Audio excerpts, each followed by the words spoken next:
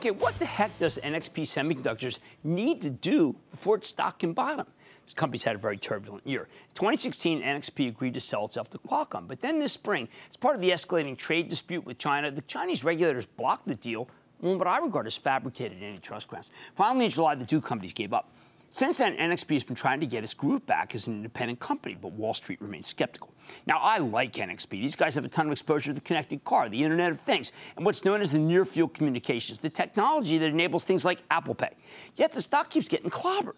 Some of that's because the latest quarter was just okay. Then today, the company held an analyst meeting that I thought would turn things around. Instead, the stock sold off. It was down more than four bucks. Why? The one thing that really jumps out at me here is that NXP told us they repurchased $3.75 billion worth of stock since July. That's an insanely voracious buyback, given this is a $31 billion company. However, during that time, uh, uh, the stock had slipped from 98 down to 93, uh, and before falling to 89 and a half today. In short, the buyback doesn't seem to be helping, at least not yet. Nevertheless, I think this company has a great story to tell. So let's take a closer look with Rick Clemmer, the president and CEO of NXP Semiconductors. Learn more about how his company is doing, where it's headed. Mr. Clemmer, welcome back to Mad Money.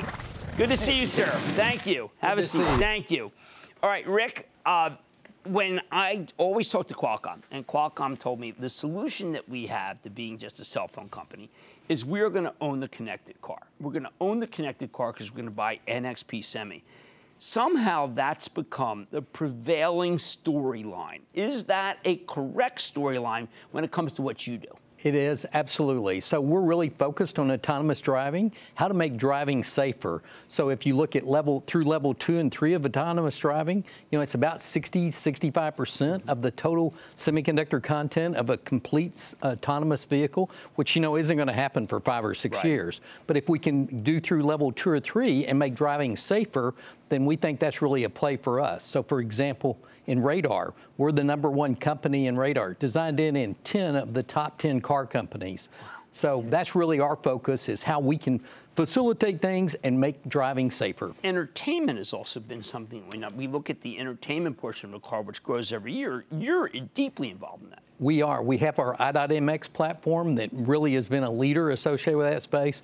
We we have design wins now for the next four or five years, really at a high level.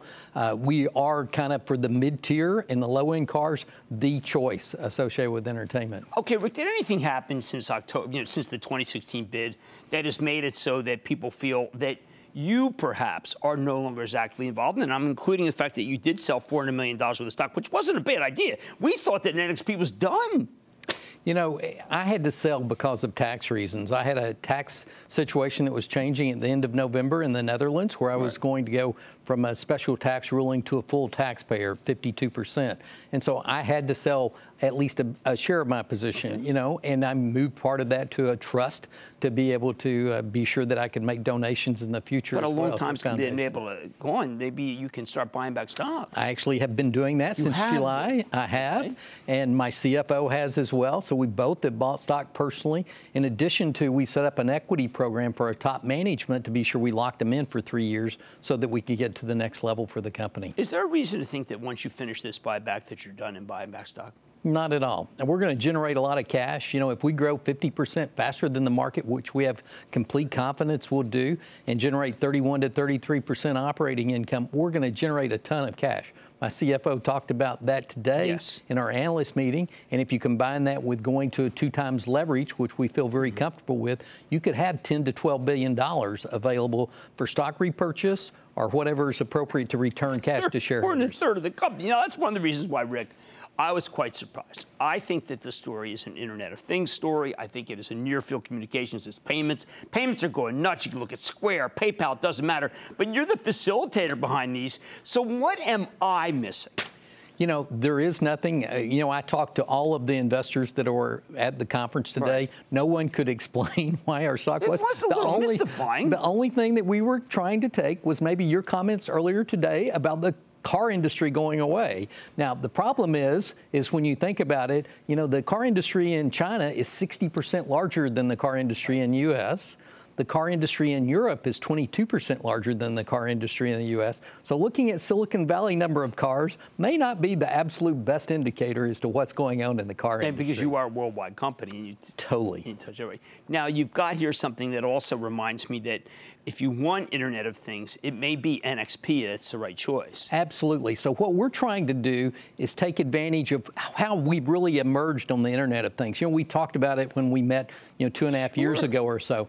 But now what we've done is try to put more color around it. So what we see is the Internet of Things really being created through the cloud and, and really the benefits associated with the cloud. But to be able to take advantage of those benefits, you need to do some edge processing. And so we have a kit here that sells for $50 for companies to just go experiment with Internet of Things, to go try it out. But what we're trying to do is do the pre-processing at the edge before it goes to the cloud, and then be able to take the actions from the cloud from there so that we can do that. So our microcontroller platforms going to applications processors. And in the two years, we've developed a crossover product that has a lot of the functionality of applications right. processor at a microcontroller cost, which opens up the market significantly. One last question. It, it, do you agree with my analysis that there was no real reason antitrust-wise for Qualcomm to be blocked from buying? There was no real reason. You know, we met with the Chinese. Any issue that they raised, there were remedies that were put right. forth associated with it. Just unbelievable.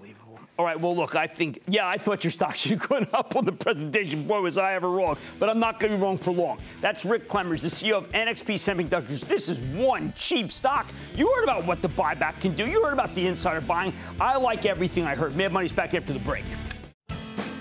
Booyah! Jim Cramer here from Mad Money. Thanks for watching CNBC on YouTube.